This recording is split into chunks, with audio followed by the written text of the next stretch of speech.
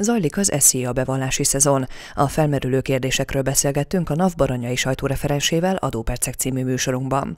Barlai Krisztina elmondta, hogy a munkáltatóknak január 31-éig kellett kiadniuk a munkavállalói igazolásokat. Ha ez nem történt meg, akkor az adózóknak lehetőségük van arra, hogy 15 napon belül pótolják a bevallást a dokumentummal igazolási kérelemként. Ez megtalálható az adóhivatal honlapján, de a NAV is kiadhatja az adatokat, amennyiben nem sikerül azokat beszerezni a munkáltatótól.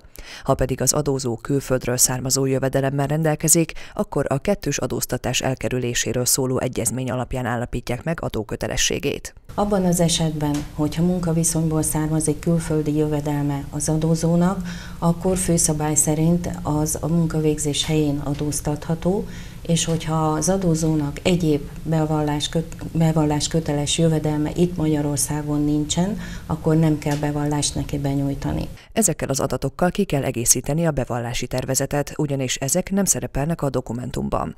Ingatlan értékesítés esetén is oda kell figyelniük az adózóknak, ugyanis az erről szóló adatokat sem tartalmazza a tervezet.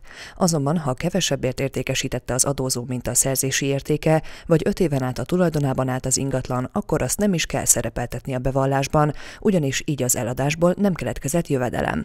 A bérbeadásnál viszont már más szabályok vannak érvényben. Hogyha az adózó kifizetőnek adta bérbe az ingatlanát, akkor ugye a kifizetőnek adatszolgáltatási kötelezettsége van, tehát a bevallási tervezetben is szerepelhetnek ezek az adatok, tehát felülvizsgálja a bevallási tervezetet a saját dokumentumaival, és ha egyezik, akkor jóvá tudja hagyni, és le tudja a bevallási kötelezettséget. Ha azonban magánszemélynek adta bérbe, akkor nem készíti el az adózó számára a bevallást a NAV, azt a magánszemélynek kell bevallania.